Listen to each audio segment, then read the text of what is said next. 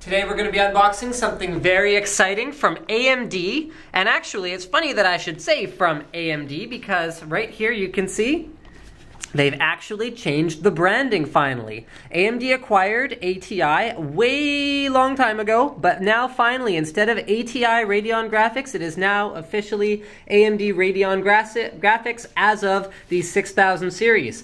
So this is the Radeon 6870, which is one of the first two Radeon 6000 series graphics cards. It supports up to four displays in AMD Eyefinity. So that's an increase of up of one more display from the 5870 series. Okay, so that means you can run two off of the display port. So those are two mini display port, and then two off of DVI or HDMI. So you've got a total of three connectors there. Let's turn this over and we'll have a look at what it's got to say about itself on the box. So this is an MSI card.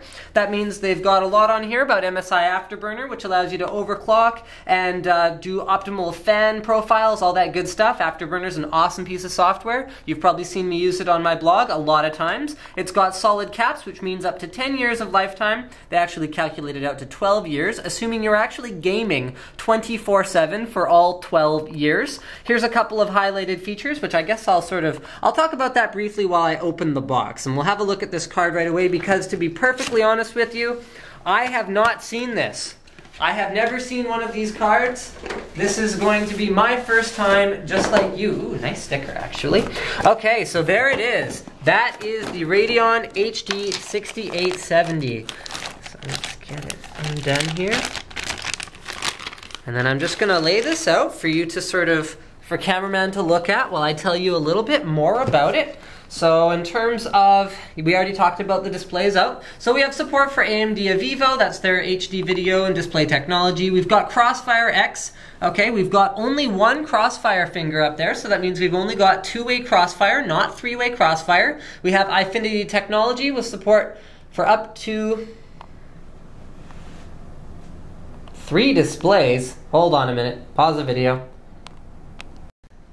Blu-ray movie acceleration, by the way, that looks like a typo on the features of the box because it does support four displays. It's compliant with DirectX 11, which we already have come to expect, and it is designed for Direct Compute 5.0 and OpenCL. Windows 7 support is a given, and it can accelerate Office 2010 applications. It supports HDMI 1.4a, which means that you do have support for Blu-ray 3D playback with the appropriate software. So let's start moving this card around and have a look at it. So as I mentioned before, we've got one crossfire finger up here at the top for up to two-way crossfire, so you can run two 6870s in a crossfire configuration. You've got a really slick looking shroud on here. So this part is actually metal. So what I'm gonna go ahead and speculate, actually here, maybe I can see through there.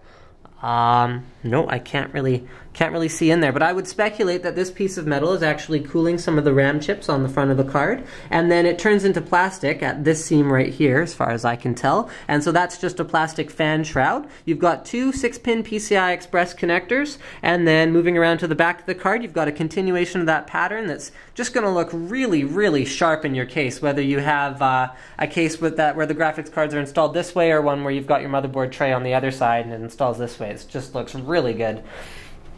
All right, so let's move around to the business end of the card where we have two DVI connectors, one HDMI connector. Now, just like the 50, uh, 5000 series, you can only use two of these at a time. If you want four displays, that means that two of them will be powered by the mini DisplayPort connectors, which you find here. Much like the 5870, it has only a half exhaust uh, at the back of the I.O. panel, so that means that all of the air will have to be exhausted out that small hole. With the 5000 series, it didn't have a huge impact on the cooling performance, so I wouldn't worry too much about it for this one, because I'd say based on the overall weight of the card, the dimensions of the cooler, the size of the fan, it's probably got pretty similar thermal characteristics to the last generation card. On the back, we find a slick black PCB. Now, one thing that might seem like it's missing from a 6870 card is like a shroud on the back, but you gotta remember, the 6800 series is not the equivalent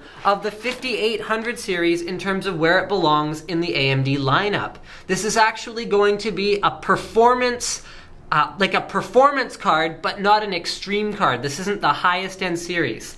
So let's go ahead and put this down and let's take out what we have in here in terms of accessories. So first we have a quick user's guide. Then we have a driver disk, which you may actually need to use depending on uh, when AMD releases the drivers on their site. Okay, driver and utility. Then we have a mini DisplayPort to DisplayPort adapter. So that'll allow you to at least run uh, Eyefinity with three displays if you don't have any mini DisplayPort monitors or adapters. Then you've got two Molex to PCIe 6-pin power connectors. You've got one Crossfire bridge, which is all you will need. Then you have a DVI to VGA adapter if you are still using a VGA monitor.